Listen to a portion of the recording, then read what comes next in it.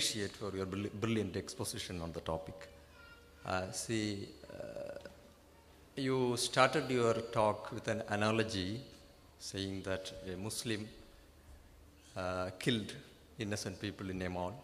A Christian also done, I mean, did the same thing. But whenever a Muslim used to do, we have so many instances.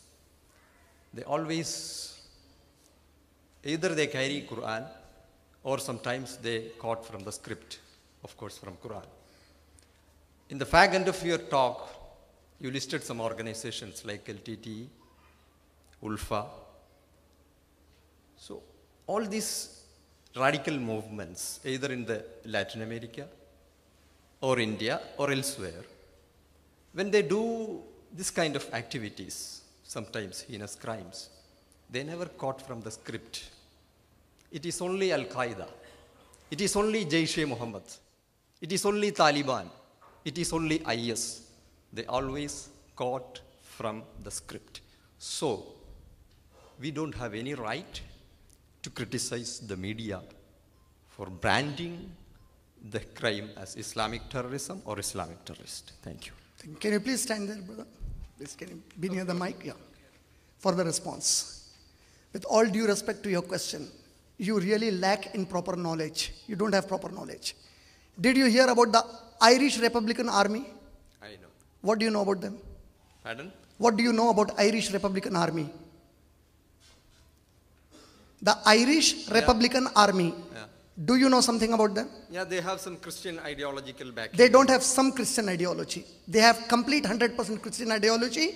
Every terrorist activity they do, they do it in the name of Christianity. That means you lack in knowledge. Ulfa, Yeah, okay. Ulfa, they claim themselves to be pious Hindus. Pardon? They claim themselves ah. to be pious Hindus. And for them to carry a scripture is almost next to impossible. How I many object I object it.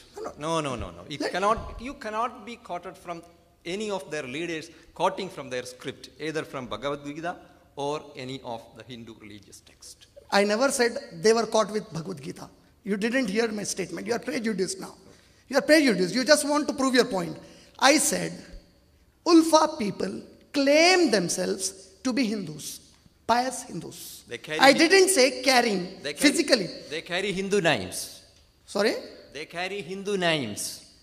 Not just Hindu names, they claim themselves to be pious Hindus. I think it's very clear English statement. They themselves, whether they are or they are not, I don't want to debate on that subject now.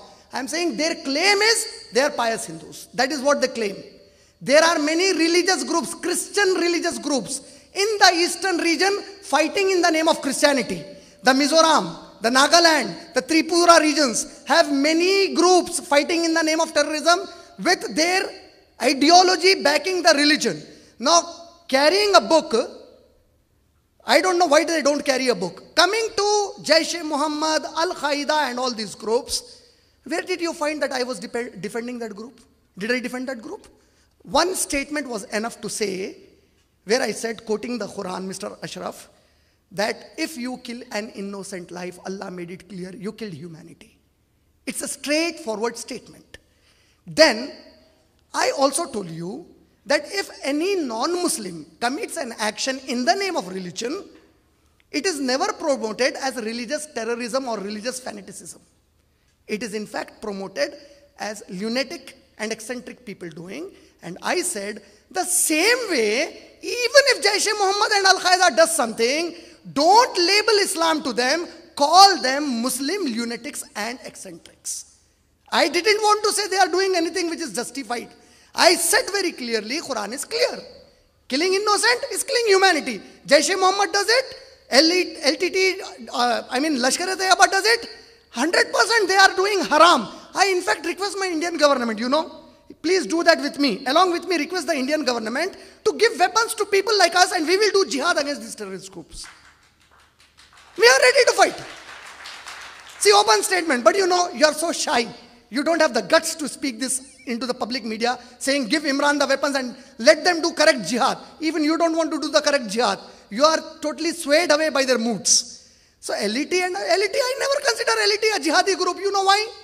If a jihadi group is being monitored and controlled by a political group called ISI, how can this be jihad? The control of a jihadi is only with Allah subhanahu wa ta'ala. It's a politically motivated group. You ask about Jaish e Muhammad, I say the same thing. Coming to Al Qaeda, what is the history of Al Qaeda? You, you know any background of Al Qaeda? Yeah, I read uh, Abdul Bari Atwan's work on Al Qaeda. Who- And the same Abdul Bari Atwan, he is a Palestinian Sunni scholar. In the latest and recent work, he said that the majority of the leaders of either Al Qaeda or Islamic State, they subscribe the Salafi ideology. Yeah. See, again, it's what that is what I'm saying. Please go impartially to read something. Statements like this, I can quote you 1,000 statements which go against you, which goes against somebody. Impartial. My entire talk, I didn't favor a single extremist group. I didn't favor a single extremist group. I appreciate again, it. I appreciate it. thank you very much, but I didn't do it for your appreciation. I did it I for the that. sake of Allah subhanahu wa ta'ala. That is my duty. I did it for Allah subhanahu wa ta'ala. Second point, second point, I can't, I can't take anybody who comes prejudiced and gives statements to make somebody good anywhere sitting anywhere. See, when you talk of Al Qaeda, don't quote those. I don't. I never heard the name of that scholar whom you are quoting. Who is that scholar? He's a world-renowned scholar. He is, I- the, he is the editor of Al Qudusul Arabi, published from See, London. Please, I'll tell you something. Very famous Arabic newspaper. He may be famous for you. How many of you heard his name, brothers? How many? No, no, no. No, no, no. Fine. How He's many, an editor. Editor. No, no. How, how many of you heard his name? See? You said he's very famous. See, how many people read him? You know him. If you know him and a few people say he's very. No, I mean, uh, no, no, no, no. this See, is- see. this- this is See, very- popularity. This is very callous. No, this no, is no. very callous. No, listen, listen. It's not callous. Please, please be very polite with your terminologies. It's not callous. It is honest. When you are projecting somebody to be very popular, people should know him then. If the people don't know, he's not very popular. He may be popular amongst the journalists. I will agree to that. Those who watch BBC or Al Jazeera, he's a very good interpreter or political commentator. Who, whoever is given also, also a who- columnist. See, I will tell you, whoever is given a good chance on BBC, I think that fellow is not good for the Muslims Al. Jazeera. Al Jazeera, you think it's an Islamic channel perfectly based on Islam? What, what, is the, what is the background of Al Jazeera? What do you know about it? A credible Arabic media. Who, who The called it one cre- and only credible Arabic media is Al For Jazeera Arabic. Muslims, the only credible media is the Quran. Nothing is credible contradicting the Quran. Sorry. Sorry, I am not talking about Quran, I am talking about media. Uh, This is media. There is no better media than this. There is no better media than this. I agreed, but I am talking in the different context. No. I'm talking about media, You, you call any- mass media. Quran is the best mass media. There is no better mass media than the Quran. There is no better mass media than the Quran. Why? Every mass media takes a U-turn. The Quran for the 14, 40 years haven't taken a U-turn. It's same, it will remain the same always, mashallah. Now see, if you quote somebody whom you think is popular, some media channel thinks is a popular, it makes no difference to me. See, if, if you go that way, there is a person who was arrested in London for favoring the terrorist groups. Even he was very popular because he was also on BBC and CNN. So what does it mean? Anybody who comes on BBC and CNN, they have some scale or some registration, ISI mark, then perfect people. No, no, no. For us, perfect people are those who are compatible with Quran and Hadith. If they are not with it, for us, they are the greatest rubbish and a burden on the Muslim Ummah. If they are Muslims, contradicting Quran and Hadith. We hate them. One thing. Secondly, coming to Al Qaeda. Who was the founder of Al Qaeda? Uh, Osama bin Laden. No, you have wrong information. It was Yusuf Azzam. Yusuf Azzam. Azzam. Azzam, yes, Palestinian. Yeah, it, he was not Osama bin Laden. You said Osama bin Laden. No, no. 1940. Azzam, I, I forgot his Ah, name. yeah. The second Yusuf person, is, Azzam. the Why? second person is uh, Yes. Osama bin Laden, Yeah. and the third one is the Egyptian doctor. Uh, Zawahiri. Al Zawahiri. Yeah. How was it founded? What is the history of founding Al Qaeda? Who helped Al Qaeda be formed? Of course, the imperialist forces supported and helped to, Please, to uh, say- say, you're in journalism. What is your profession? uh, international studies, specializing in history. Ah, mashallah. So there, you are using all those terms which the people don't understand. When you say imperial forces, nobody understands. Okay, America. Don't, yeah. Of course, America. Yes, be United honest. States of America. Be honest. That's what I'm saying. You agree Al Qaeda was formed by America. You agree to it. Right. I mean, I mean, imperial forces means not only United States. There's so many other states also. No, no, that, see again, interpretation. Imperial force, first thing comes to the mind is America. And being a journalist, be very honest with it. Because journalists, if you are a journalist, give honest report to the people. Imperial force, that terminology imperial force is first used only for Americans. Who were the nurturing forces for Al Qaeda?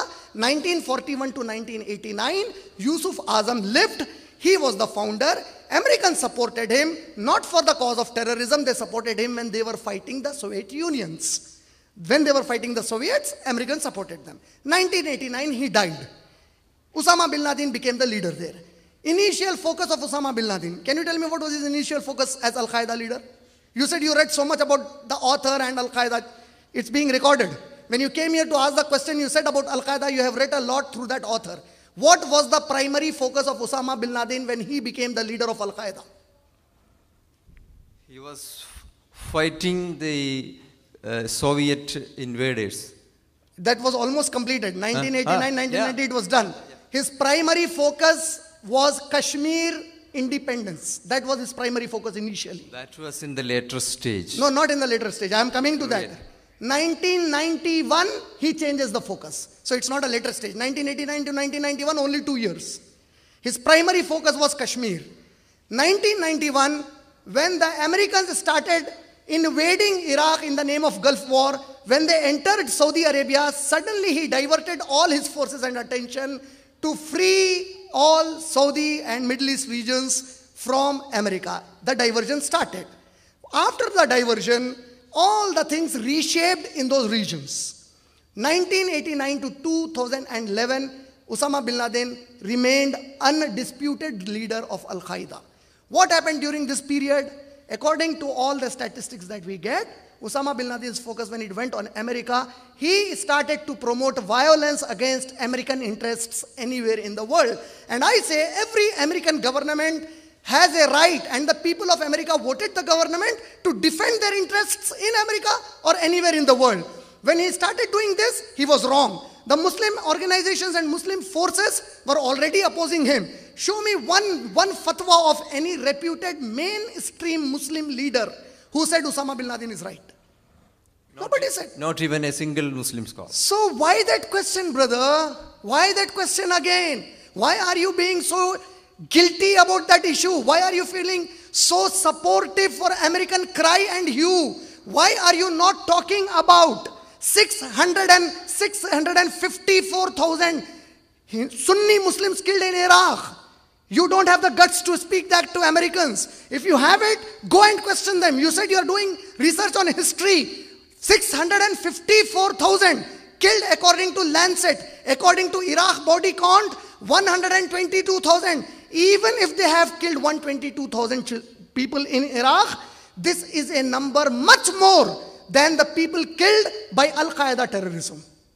But you don't talk about that then. Why? Why so guilty about it? Al Qaeda did something wrong, they have done it. We condemn them. We call them terrorists. We don't say Al Qaeda is a good organization, it's a Muslim representative organization. We don't say that.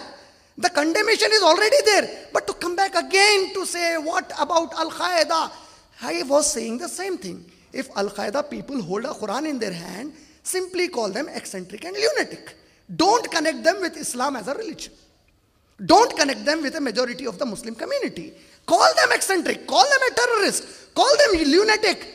Help us. I am saying if Indian government gives me an opportunity, I would lead a real front for us Muslims here to fight jihad in the right way against these terrorists. I'm ready to do it. So, coming to Jaish Muhammad, coming to all this uh, about ISIS. How did ISIS come into being? How was it formed? Do you know the history of ISIS? Yeah, that's a good answer. You said you don't know. ISIS, initially, it was called Jamiatul. No, Jamiatul Tawheed wal Jihad. In 1999, it was formed. It was formed by a Jordanian, and his name was Abu Mus'ab Zarqawi. He was the founder to it. Why was it formed in 1999?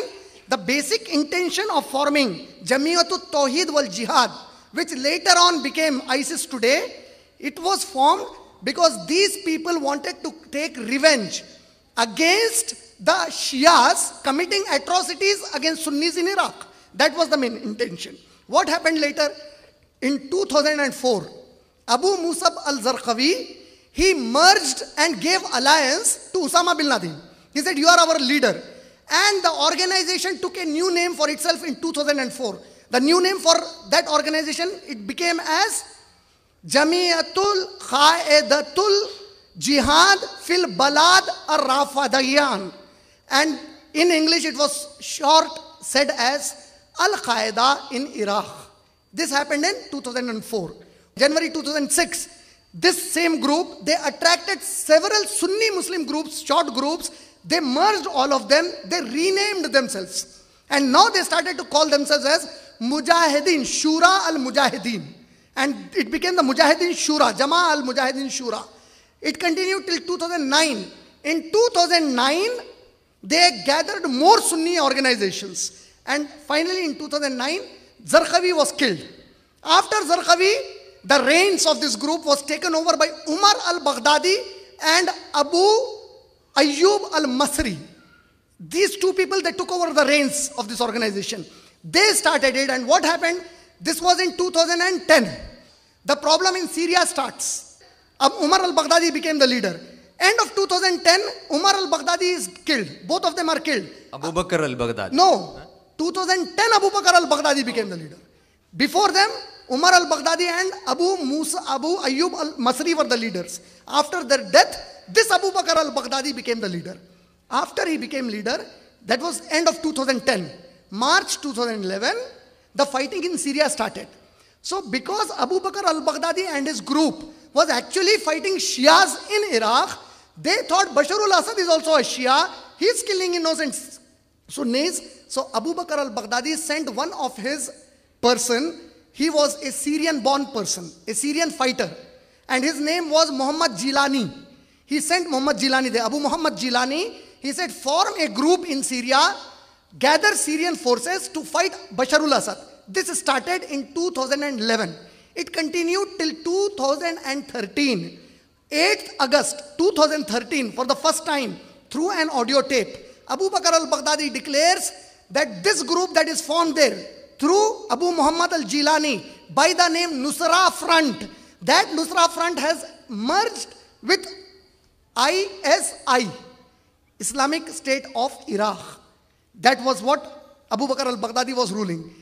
Zawahiri, Al-Qaeda leader Zawahiri, he condemned it. He said there is no merging between both of you. Tensions started between both of them. Between whom? Al-Nusra Front and Baghdadi. As Zawahiri, he became an emissary to solve it. Baghdadi didn't allow him to become the emissary. Tensions mounted further. This is the history of ISIS that you have today. When the tensions mounted, what happened? Zawahiri moved away in 2013. He said, I am not involved anymore with these two groups. Let them do whatever they want. When this started, Baghdadi came into Syria and he started killing the people of Nusra Front, the Sunni Muslims himself. This is what was highlighted that if you are a Sunni Muslim, how can you kill Sunni Muslims? So he started to say, Baghdadi, that anybody who is not going to support me is a kafir. This is against Islam.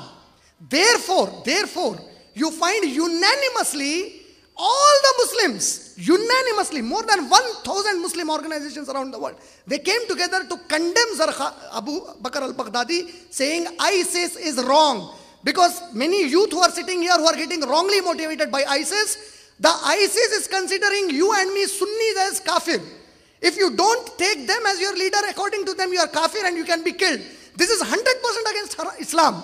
100% they are not on the right path, they are terrorists. There is no second thought about it.